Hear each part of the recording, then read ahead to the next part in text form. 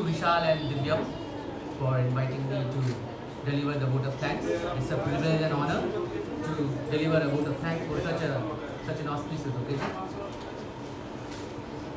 A hearty amity greeting to our respected director sir, Dr. Ajit Kumar Pandey sir, the dignitaries from CMPDI Ranchi, my fellow colleagues, the participants and the dear students. Today's program for observing the Vigilance Awareness Week has been a great success. For this, we would like to extend our gratitude to the eminent members of Central Mine Planning and Design Institute Limited, Ranchi.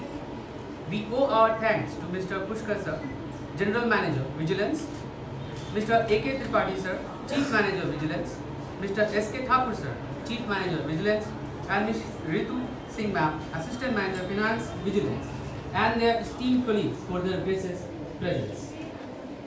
Our thanks also go to the Honorable Vice Chancellor Sir, Amity University Jharkhand, in absentia, for his kind approval and support for the event.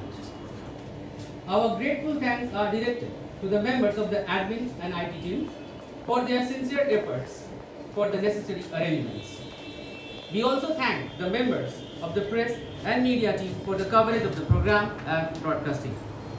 It is incumbent upon me to express my gratefulness to my colleagues and the jury members of the Literary Society for their unwavering support, including the student volunteers. We appreciate the overwhelming enthusiasm of all the participants in the essay competition and the students for their presence throughout the program. I therefore thank you all once again for your excellent cooperation and this event will remember everybody's share in its success. Thank you once again. Thank you all.